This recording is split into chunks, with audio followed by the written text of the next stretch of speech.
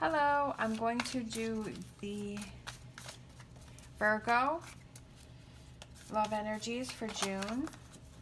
And this is a general reading, so this may or may not resonate with you. All right, I made some cards here, so we're going to pull some of these.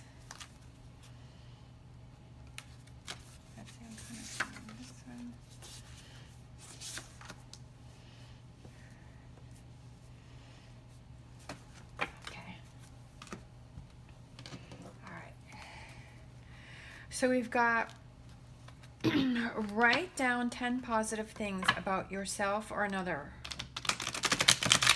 another person.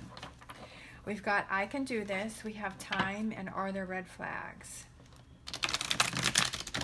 So it may be that you're questioning your partner.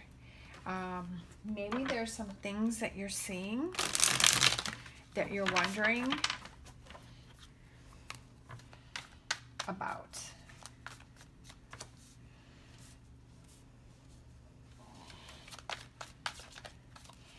Maybe it's about you refocusing on the positive things from your partner. Maybe you're just focusing on the negative.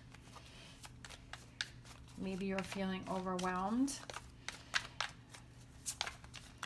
All right, so let's pull some cards for I can do this.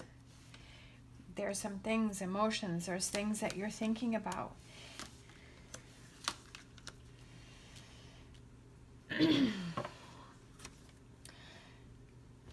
I feel like it's about giving your relationship a fresh start.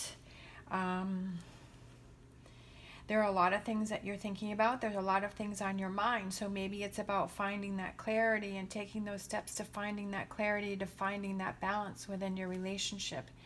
Um, maybe it's just your own balance. Maybe you have a lot of thoughts going on about your partner, like you have all of these things going on, like you're almost overwhelmed, like you're almost overanalyzing the, your partner like you're almost overthinking it.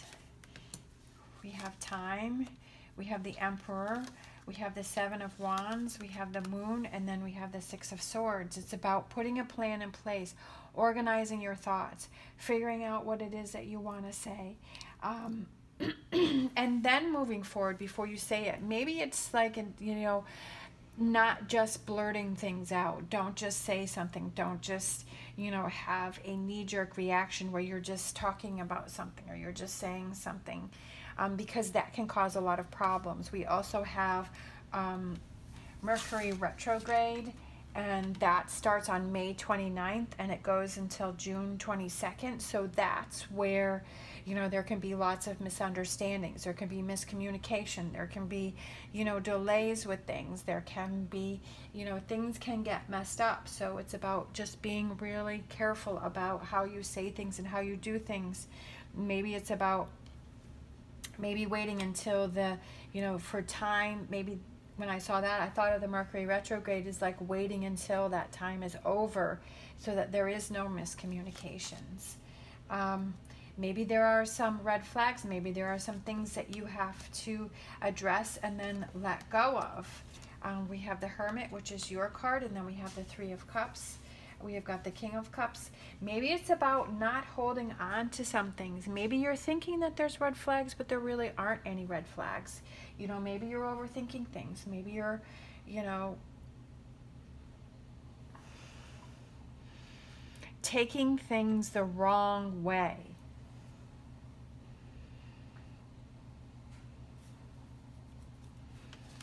Write down 10 positive things. Two of Wands, Three of Pentacles, Justice, and Six of... I feel like that, you know, maybe it's about... Maybe you've just been focusing on a lot of negative things about your partner and it's, it's time to kind of readjust your thinking and think about the positive things that are going on in your relationship because sometimes we kind of get caught up. It almost feels like it's easier to be negative than it is to be positive.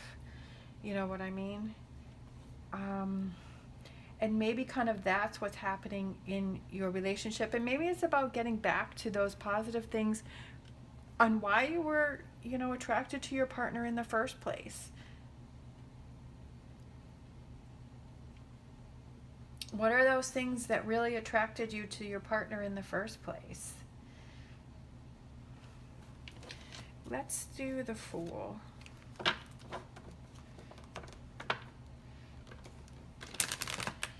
I feel like maybe something has happened and that you're assuming something and you didn't go to your partner to talk about it.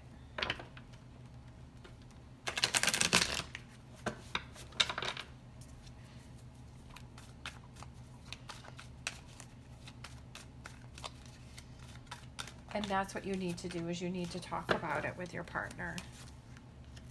Yeah, Five of Pentacles.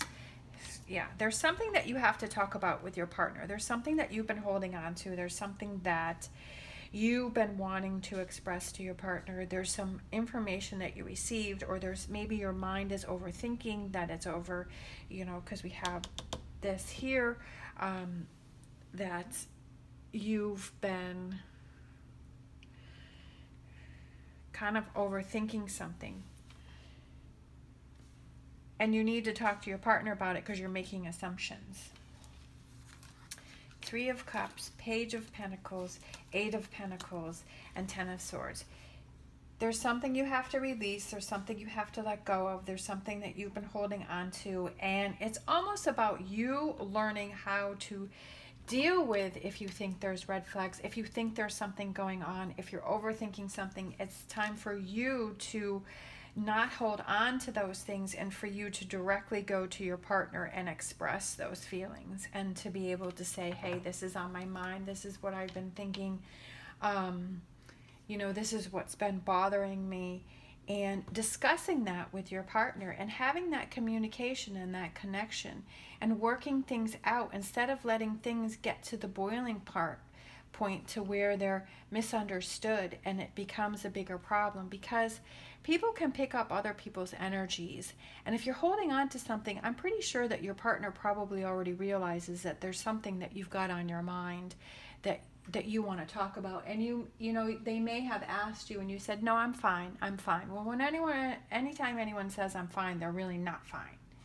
There's really something that they're they're holding on to